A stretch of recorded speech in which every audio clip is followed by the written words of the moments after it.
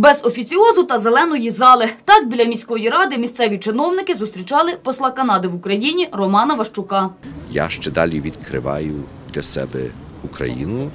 Е, Україн є багато. Вона з одного боку одна, а з другого боку їх є багато в Україні.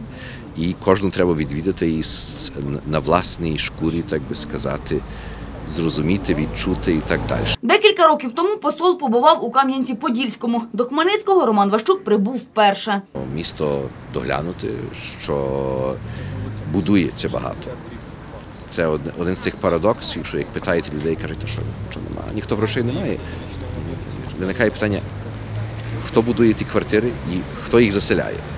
Але видно, що що будівельники ваші мають що робити. До Хмельницького Роман Ващук прибув з робочим візитом. Мета – налагодження економічних відносин з містом. Я завжди шукаю, які є можливості для обопільного бізнесу, е, які є можливості для співробітництва в інших, скажімо, гуманітарних галузях. Так що е, в великій мірі то пізнавальна така поїздка.